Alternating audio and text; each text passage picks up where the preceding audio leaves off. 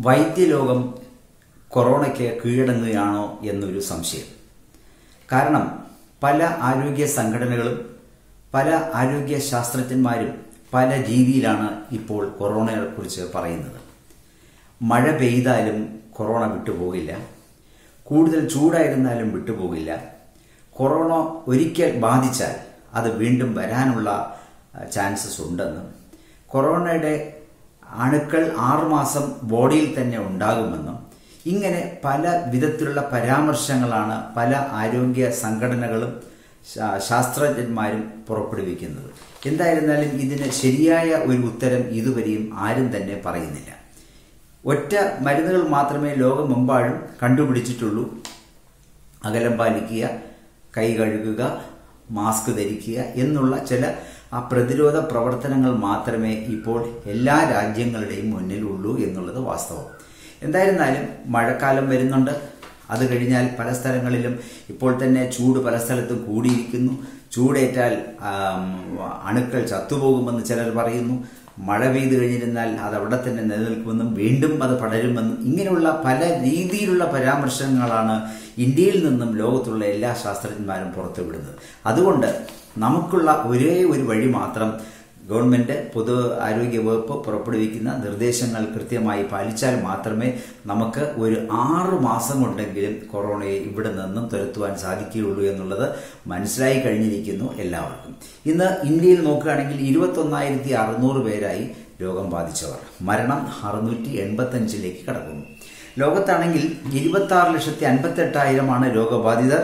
ഒരു ലക്ഷത്തി എൺപത്തി അയ്യായിരത്തി നാനൂറോളം പേർ ഇതുവരെ മരിച്ചു കഴിഞ്ഞു വിശദമായ കണക്കുകളിലേക്ക് നമുക്ക് പോകാം. അന്തമാൻ നിക്കോബാറിൽ ഇന്ന് നാല് കേസുകൾ കൂടി പുതിയതായി വന്നു. ആന്ധ്രാപ്രദേശിൽ എൺപതും ആസാമിൽ ഒന്നും ബീഹാറിൽ അഞ്ചും ജമ്മു കാശ്മീരിൽ ഇരുപതും കർണാടകയിൽ പതിനെട്ടും രാജസ്ഥാനിൽ നാൽപ്പത്തി ഒൻപതും വെസ്റ്റ് ബംഗാളിൽ മുപ്പത്തിമൂന്നും. ഇന്ന് അയ്യായിരത്തി അറുന്നൂറ്റി നാൽപ്പത്തി ഒൻപത് പേരാണ് മഹാരാഷ്ട്രയിൽ ഉള്ളത്. രണ്ടാമത്തത് ഗുജറാത്തിലാണ് രണ്ടായിരത്തി നാനൂറ്റി ഏഴ് പേരാണ് മൂന്നാമത് ഡൽഹിയിൽ രണ്ടായിരത്തി ഇരുന്നൂറ്റി നാൽപ്പത്തെട്ട് രാജസ്ഥാനിൽ നാലാമത് ആയിരത്തി തൊള്ളായിരത്തി മുപ്പത്തി ഏഴ് തമിഴ്നാട്ടിൽ അഞ്ചാമത്തെ സ്ഥാനം ആയിരത്തി അറുന്നൂറ്റി ഇരുപത്തി ഒൻപത് യു പിയിൽ ആയിരത്തി നാനൂറ്റി നാൽപ്പത്തി ഒൻപത് മുംബൈയിൽ ഇരുന്നൂറ്റി മുപ്പത്തിരണ്ട് പേരും പൂനെയിൽ എൺപത്തി ഒൻപത് പേരും താനെയിൽ മുപ്പത് പേരുമാണ് ഇന്ന് കോവിഡ് ബാധിതരായവർ. ആകെ ഇരുപത്തൊന്നായിരത്തി അഞ്ഞൂറ്റി തൊണ്ണൂറ്റി മൂന്ന് പേരാണ് ഇന്ത്യയിൽ. മരണം അറുന്നൂറ്റി എൺപത്തഞ്ച് കടക്കുകയാണ്. മറ്റു ചില പ്രധാന വാർത്തകൾ. കോൺഗ്രസ് അധ്യക്ഷ സോണിയാഗാന്ധിയെ പരാമർശിച്ചത് ശരിയായ രീതിയിലല്ല എന്ന് പി സി വിഷ്ണുനാഥ്. അറബ് ഗോസ്വാമിക്കെതിരെ ചെങ്ങന്നൂർ പോലീസ് സ്റ്റേഷനിൽ അദ്ദേഹം പരാതി നൽകി.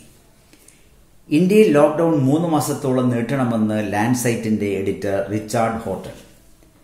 കോവിഡ് പ്രതിരോധിക്കുന്നതിൽ പുരോഗതിയുണ്ടെന്ന് കേന്ദ്ര സർക്കാർ. ഇന്ത്യയിൽ ഇരുപത്തിനാല് മണിക്കൂറിനിടെ ആയിരത്തി നാനൂറ് പേർക്ക് കോവിഡ് സ്ഥിരീകരിച്ചിട്ടുണ്ട്.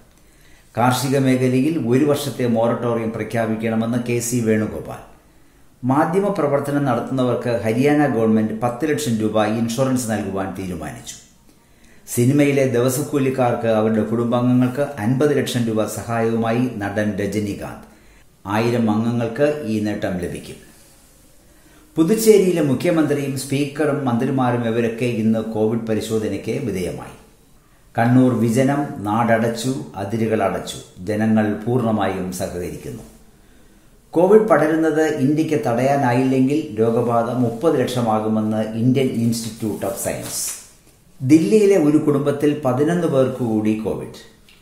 കേന്ദ്ര സർക്കാർ ജീവനക്കാർക്ക് ഒരു വർഷത്തേക്ക് ക്ഷാമബത്തയില്ല സംസ്ഥാനത്ത് ഇരുപത്തെട്ട് ഫാസ്റ്റ് ട്രാക്ക് കോടതികൾ വരുന്നു. കൊറോണ ഭേദമായിരുന്നാലും വൈറസ് മനുഷ്യ ശരീരത്തിൽ നീണ്ടകാലം നിലനിൽക്കുമെന്ന് ലോകാരോഗ്യ സംഘടന. കേരളത്തിൽ കനത്ത മഴയ്ക്ക് സാധ്യത. കോവിഡ് പശ്ചാത്തലത്തിൽ മലിനീകരണ തോത് ഇന്ത്യയിൽ കുറഞ്ഞെന്ന് നാസ. കോവിഡ് പ്രതിരോധ പ്രവർത്തനത്തിന് എപ്പോഴും യു ഡി എഫ് പിന്തുണയുണ്ടെന്നും പക്ഷേ അഴിമതിക്ക് കൂട്ടുനിൽക്കില്ല എന്ന് രമേശ് ചെന്നിത്തല.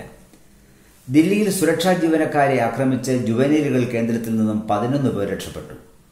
ചണ്ഡീഗറിൽ ആറുമാസം പ്രായമുള്ള കുഞ്ഞിന് കോവിഡ്. ഇന്ത്യയിൽ പന്ത്രണ്ട് കോടിയോളം പേർക്കാണ് തൊഴിൽ നഷ്ടമായതെന്നും ഇവരുടെ കുടുംബത്തിന് ഏഴായിരത്തി അഞ്ഞൂറ് രൂപ വീതം നൽകണമെന്ന് കോൺഗ്രസ്. പശ്ചിമ ബംഗാൾ സർക്കാർ മൊബൈൽ ഫോൺ ആശുപത്രിയിൽ ഉപയോഗിക്കുന്നത് നിരോധിച്ചു. മൊബൈൽ ഫോണിലൂടെ കോവിഡ് പടരാൻ സാധ്യത കണ്ടുകൊണ്ട്. രാജസ്ഥാനിൽ നാൽപ്പത്തൊമ്പത് പേർക്ക് കൂടി കോവിഡ്. ഗ്രീൻ സോണായ കോട്ടയം ജില്ലയിൽ വീണ്ടും കോവിഡ്. ബീഹാറിൽ പതിനേഴ് പേർക്ക് ഇന്ന് കോവിഡ് സ്ഥിരീകരിച്ചു. കോവിഡ് റാൻഡം പരിശോധന തുടങ്ങുവാൻ I C M R. News desk Karma news.